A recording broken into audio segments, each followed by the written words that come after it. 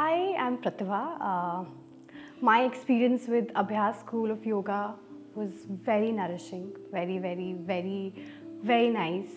Uh, जब मैं यहाँ पे आई मुझे सच में ऐसा फील हुआ कि मैं अपने घर आई हूँ बिकॉज़ मुझे ऐसा लगता है कि जब मैं अपने घर जाती हूँ तो वहाँ पे एक एक तरह का एटमोसफेयर होता है जो मैं एक्सपीरियंस करती हूँ जो मैंने यहाँ पे आके एक्सपीरियंस किया uh, मैं बहुत स्पिरिचुअल बैकग्राउंड से आती हूँ एंड मुंबई में जो मुंबई का लाइफस्टाइल है जो मेरा लाइफस्टाइल है जो मैं अपना मुंबई में लाइफस्टाइल रखती हूँ मुझे वो सब कुछ एक्सपीरियंस करने का मौका नहीं मिलता है मुंबई में।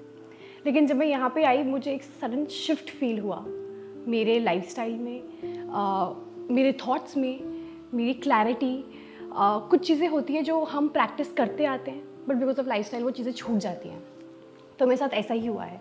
मैं पहले काफ़ी ज़्यादा योग करती थी काफ़ी मेरा एक प्रॉपर स्केड्यूल था प्रॉपर रूटीन था।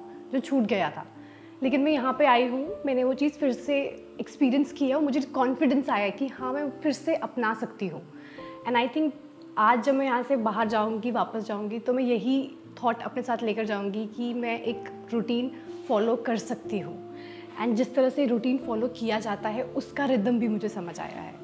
पहले मेरे लिए सुबह उठना, थोड़ा पूजा करना योगा करना, ये था, पर अभी एक सेंस इन्वॉल्व हुई है इस रिदम में। कैसे हमें अपनी बॉडी को क्लीन करना चाहिए? सुबह जब हम उठते हैं, कुछ एक्सरसाइजेज है जो मैंने यहाँ पे सीखी हैं, जो मैं पक्का करने वाली हूँ घर जाकर। एंड प्राणा की मैंने बहुत अच्छी नॉलेज यहाँ पे गेन की है, जो शायद मेरे पास अभी तक बिल्कुल भी नहीं थी।